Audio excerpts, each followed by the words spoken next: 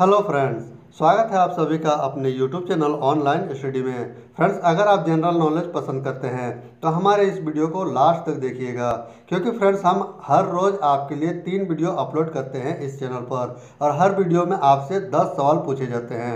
अगर आपको इनमें से किसी भी सवाल का जवाब पता हो तो आप हमें कॉमेंट करके बता सकते हैं। हम जितने भी सवाल आपसे पूछते हैं, वो सारे सवाल आपके किसी न किसी एग्ज़ाम में या फिर कंपटीशन में पूछे गए होते हैं। इन्हीं सवालों को हम अपने वीडियो में शामिल करते हैं। तो चलिए बिना सवाल समय गवाए हम आज के टॉपिक को शुरू करते हैं।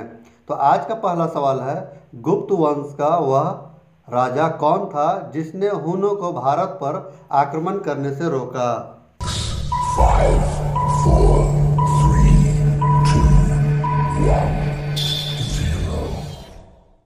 इसका सही जवाब है स्कंद गुप्त।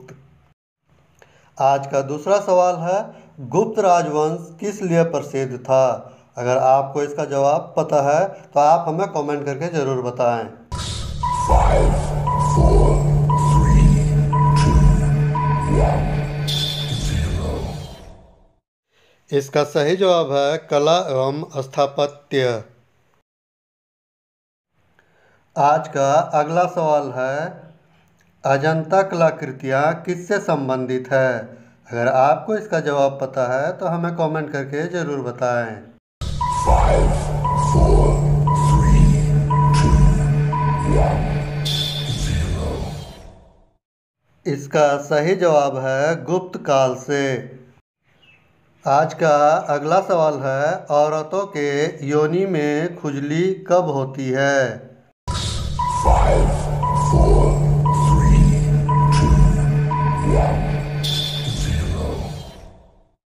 इसका सही जवाब है, जब लड़कियों या औरतों के योनि में फंगल इन्फेक्शन हो जाए, तब खुजली होती है।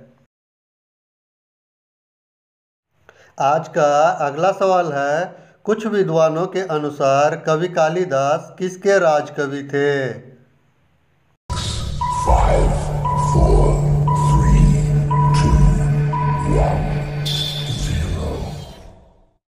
इसका सही जवाब है चंद्रगुप्त टू विक्रमादित्य के। हमारा अगला इम्पोर्टेंट सवाल है एरन अभिलेख का संबंध किस शासक से है? दोस्तों ये कई बार कंपटीशन के एग्ज़ाम में पूछे जा चुके हैं। अगर आपको इसका जवाब पता है तो कमेंट बॉक्स में ज़रूर लिखें।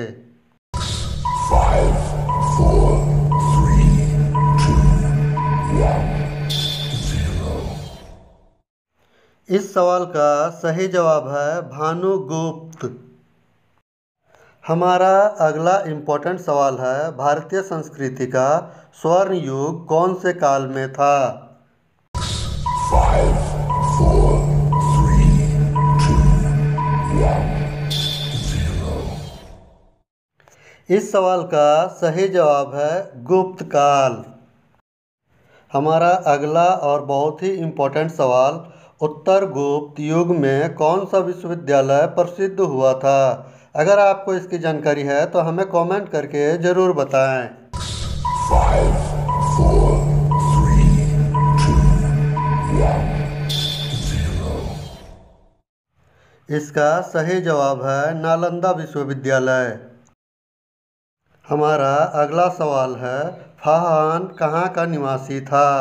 अगर आपको इसकी जानकारी है तो हमें कमेंट करके ज़रूर बताएँ। Five, four, three, two, one, इस सवाल का सही जवाब है फाहान चीन का निवासी था। हमारा अगला इंटरेस्टिंग सवाल है मेहरौली दिल्ली स्थित लौह स्तंभ का निर्माण किस सदी में हुआ?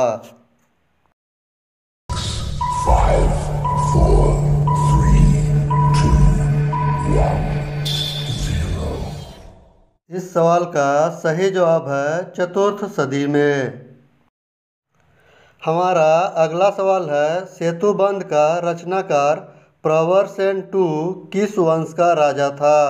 अगर आपको इसका जवाब पता है तो हमें कमेंट करके ज़रूर बताएँ।